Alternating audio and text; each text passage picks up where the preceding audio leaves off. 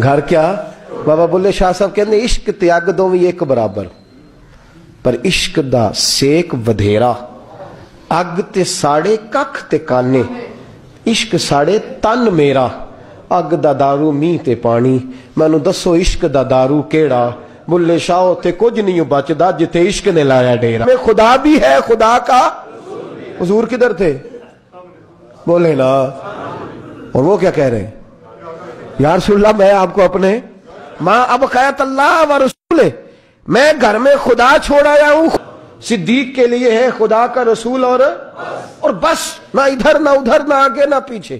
نہ کوئی چیز اور چاہیے نہیں۔ صدیق کے لیے خدا کا رسول اور پھر بس، اس سے آگے دائیں بائیں کسی چیز کی ضرورت اقبال نے کہا، تجھ سے تجھی کو مانگ کے میں نے مانگ لی ساری کائنات۔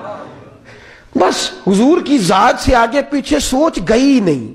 کبھی دائیں بائیں دیکھا ہی نہیں، کبھی سوچا ہی نہیں، کبھی مزاج ہی نہیں گیا، کبھی معیار ہی نہیں ہوا۔ میرے نبی پاک صلی اللہ تعالی علیہ وسلم نے، اور پھر لطف کی بات پتہ کیا ہے؟ مزے کی بات۔ یہاں سب سے زیادہ ٹینشن پتہ کس آدمی کی ہوتی ہے؟ جو کچھ خرچ کرتا ہے نا کسی ادارے میں، اس کی بڑی پریشانی، اس کو مناسب پروٹوکول نہ ملے تو بگڑ جاتا ہے۔ بگڑ جاتا ہے۔ اس لیے میرے جیسے مولوی حضرات چودھری صاحبان کے نام ذرا بڑے بنا سوار کے لیتے ہیں۔ ہوں کئی دفعہ جگہ نہ ملے، مسجد میں پھر بھی بگڑ جاتے ہیں، کہنے سانو تھا ہی نہیں لبھی تھوڑی مسیح یہ بڑا مشکل ہوتا ہے، مرحلہ۔ یہ پروٹوکول بڑی مصیبت ہے۔ بڑا مشکل مرحلہ ہے، سب سے مشکل یہ والا مرحلہ ہے۔ حضرت ابو بکر صدیق۔ خرچہ سب سے زیادہ، نوکری سب سے زیادہ تابے داری پیار فرما برداری بیٹھنا سب سے پیچھے ہے۔ پیچھے ہو کے، دائیں بائیں، بتانا نہیں، ذکر نہیں کرنا۔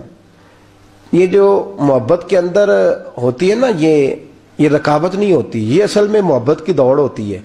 یہ حضرت عمر کہہ رہے ہیں نا، میں نے کہا تو آگے گزر کے تو دکھا۔ یہ محبت کی، بھائی، ایک محبوب کے زیادہ محب ہوں تو ان کے اندر اس کو دعوت نہیں کہتے، سمجھیے گا بات۔ یہ بھی محبت کی۔ فستا بھی کل خیرات اللہ خود کہتے آگے بڑھو ایک دوسرے سے۔ حضرت سیدنا عمر فاروق فرماتے ہیں، ساری زندگی میں نے یہ کوشش کی کہ ابو بکر سے آکے گزر جاؤں۔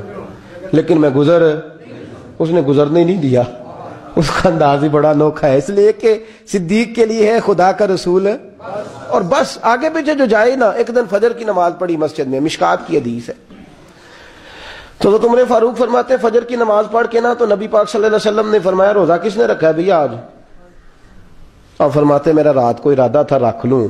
یہ بزرگ نے پوچھا تو میرے دل میں خیال ہے راکھی لیتا تو بہتر تھا۔ نمبر تو لگ جاتا نا۔ فرماتے ہیں حضور نے فرمایا کس نے رکھا ہے روزہ؟ کوئی نہ بولا۔ تو سرکار نے فرمایا جو صرف اس لیے چوپ ہے نا کہ دوسروں کو پتہ نہ چل جائے۔ وہ میں کہہ رہا ہوں ان سے بولیں۔ حضرت صدیق اکبر نے ہاتھ کھڑا کیا۔ عرض کی سونے تیری موج ہے نا چوپ رہنے کا حکم بھی تو ہی دیتا ہے۔ اور بتانے کا حکم بھی۔ حضور رکھا ہوا ہے روزہ۔ حضرت سیدنا عمر فاروق کہتے ہیں میں نے بڑا کور کے دیکھا، میں نے کہا لنگن نہیں دینا بھائی اگے۔ حد ہو گئی ہے۔ خیر، کہتے ہیں تھوڑی دیر کی فجر کی نماز پڑھی مسجد میں۔ اللہ کے رسول نے فرمایا، یہ بتاؤ، کسی نے آج کسی بیمار کی تیمارداری کی ہے؟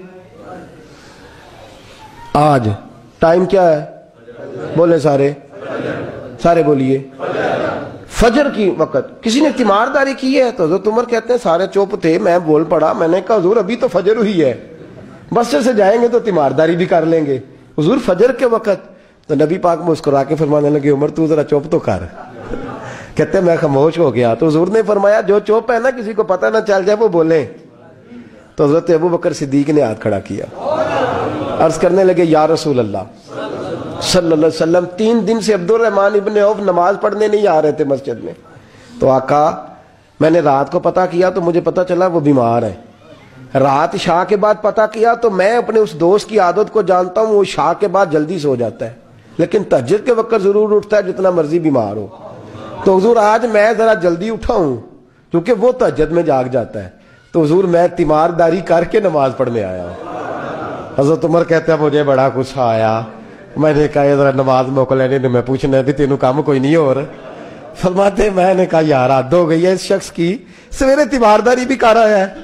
کہتے اللہ، یہ یہ میں نے کہا یہ رقابت نہیں، یہ محبت کی جنگ ہے۔ یہ یہ محبت ہے۔ اس کو کوئی ش... لوگ غلط مطلب بڑی جلدی لیتے ہیں نا۔ حضرت عمر فاروق فرماتے ہیں چپ ہوئے ہی تھے کہ سرکار نے تیسرا سوال پوچھا۔ حضور نے فرمایا، کسی نے کسی مسکین کو کوئی صدقہ بھی دیا آج کے؟ نہیں۔ تو حضرت عمر کہتے ہیں، میں نے کہا، حضور، رات شاہ پڑھ کے میں نے دیا تھا۔ فرمایا، تو شاہ کی بات کر رہا ہے، میں آج کا پوچھ رہا ہوں۔ آج؟ تو حضرت عمر کہتے ہیں، مجھے پکا پتا تھا ان نہیں بولنا جو بولے تھے تو آپ فرماتے ہیں، میں نے توجہ حضرت ابو بکر کی طرف کر لی، میں کہا دس سو پائی۔ صدقہ کیا ہے کہ نہیں کیا؟ تو حضرت سیدنا عمر فاروق فرماتے ہیں، جب ابو بکر بولا تو میں رویا۔ جب صدیق اکبر نے بات کی تو میرے چھم چھم آنسو نکلے، میں کیا، میں نے کہا، یار، تجھ سے کوئی نہیں فتح لے سکتا۔ حضرت سیدنا ابو بکر صدیق فرمانے لگے، یا رسول اللہ، آج میں تجد کی نماز کے لیے اٹھا تو میرا پوتا بھی اٹھ گیا۔ حضور اس نے میرے ساتھ دو نفل پڑے تو کہنے لگا، دادا جی بھوک لگ رہی ہے۔ تو میں نے اس کی دادی سے کہا کہ میرے پوتے کو دو روٹیاں تو پکا دے۔ اس نے دو روٹیاں پکائی ایک روٹی اس نے کھا لی، بچہ تھا، دوسری ہاتھ میں پکڑ لی۔ حضور گھر سے باہر نکلے تو ایک مسکین دروازے پہ کھڑا تھا۔ کہنے لگا، رات سے کچھ نہیں کھایا۔ فرماتے ہیں، تازی روٹی پوتے کے ہاتھ سے لے کے مسکین کو دی۔ پھر میں نے پتا لیا، واپس آیا ہوں۔ حضرت عمر کہتے ہیں، پہلے میں مسکرا رہا تھا، پھر میری چیخ نکلی۔ میرے رسول پاک کے بھی آنسو آئے۔ فرمایا، ابو بکر پوچھ اس لیے رہا ہوں کہ ابھی جبریل آئے تھے۔ اور وہ کہہ گئے ہیں کہ یا رسول اللہ، صلی اللہ علیہ وسلم، جنت میں ایک حاجیوں کا دروازہ جس سے صرف حاجی جنت میں جائیں گے۔ ایک روزے داروں کا دروازہ جس سے روزے دار جنت میں جائیں گے۔ ایک سخیوں کا دروازہ جس سے سخی جنت میں جائیں گے۔ یا رسول اللہ، ابو بکر صدیق کو رب کا سلام کہہ دیں اور کہے رب فرماتا ابو بکر، جب تو جنت کی طرف منہ کرے گا، اللہ سارے دروازے کھول الصلاة